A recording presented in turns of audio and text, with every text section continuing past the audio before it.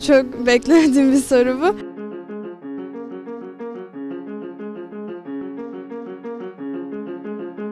Bana hep kızıyorlardı bitirmediğim için.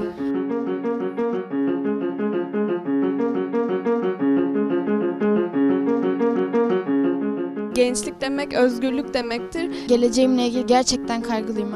Türkiye'de genç olmanın zor olduğunu düşünüyorum. Da dünyanın her yerinde genç olmak zor. Türkiye'ye özel bir şey değil.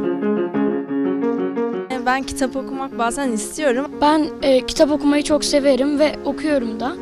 Ama babam yine de hiç kitap okumuyorsun diyor bana. Bence yanlış yapıyor. Çok böyle kitap düşkünü bir ailede değiliz. kitapların arasına bırakıldım. Ben neyi tercih ediyorsam biraz özgürlükle onlara itildim. Bu öğrenmek kesinlikle bir okul öğrenmesi değil tabii ki. Edebiyat düşündürür. Kitaplar daha çok gençleri ilgilendiren konularda ama gençleri küçümsemeden yazılıyor. Okuldaki bilgiye bence benzemez. Yani daha hayatla ilgili. E, bitirmeden bırakamıyorum. Sıkıldıysam onu e, büyüdüğümde okumaya karar veriyorum. Okumaya devam ettim ama sırf sonunda ne olduğunu merak ettiğim için. Başka kitaba geçerim.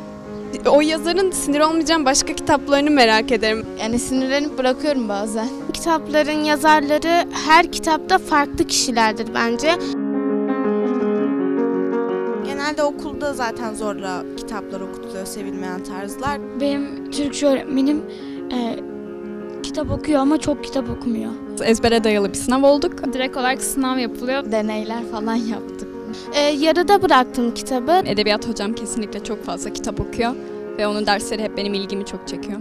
Acaba listeleri hani hep birlikte mi seçsek? Bence biz kendimiz kitap seçebiliriz. Klasikleri okumayı e, denedim ama biraz ağır geldi. Bıraktığı etkiler Okumayı denedim ama biraz daha şey geldi bana sıkıcı geldi. Kitap acaba nasıl klasik oluyor onu e, merak ediyorum.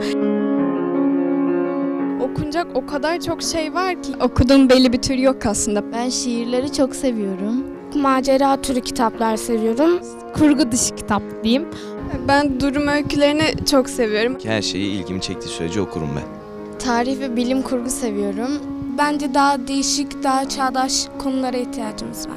Öykü aslında benim hem en çok sevdiğim hem de birazcık da küskün olduğum bir tür. Çünkü e, öykü böyle tadı damakta e, kalıyor öykü okuyunca. O hani öykünün ortalarına doğru ya da sonlarına doğru tam o karakterlere bağlanmış oluyorsun ve öykü bitiyor. O yüzden ben azıcık e, aslında hem öyküyü bu nedenle çok seviyorum hem de birazcık küskünüm.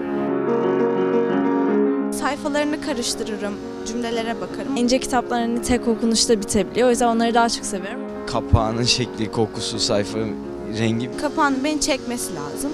Kapağı da çok önemli değil. Asıl e, gerçek bence arka tarafında kitabın.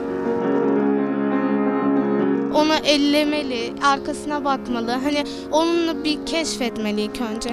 E, mahalle aralarında çok kitapçılar olmuyor. En büyük eğlencem böyle kitap satan bir yere girip böyle saatlerimi orada harcamak. Amazon ya da internet üzerinden İnternet ortamında da okuyabileceğimiz yazılar var. alışverişini yapmayı tek sevdiğim şey kitap olduğu için beni çok mutlu ediyor kitap fuarları. Orada yazarlar oluyor e, fuarlarda ve çok büyük yerler oluyor. satış yapan kişiye bu kitap ne, nasıl, tavsiye eder misiniz diye sorabilirsiniz. Böyle o havanın etkisiyle böyle poşet poşet kitap aldım falan oluyor. Bir tane, iki tane, üç tane, beş tane değil. Orada kitapların hepsini almak istiyorsun. Hani onlara da bir göz gezdiriyorum bloglara da. Benim kendi blogum var. Seyahat bloglarını takip etmeye çalışıyorum. Sözlük. Ekşi mesela.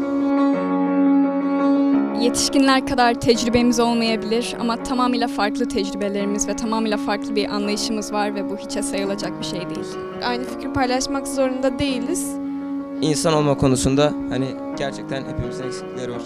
Olgun bir birey olmamızı beklerken bizi sürekli koruyorlar. Her şeyde haklı olmanız mümkün değil. Biraz daha empati. Ne çabuk unuttunuz siz de çocuktunuz.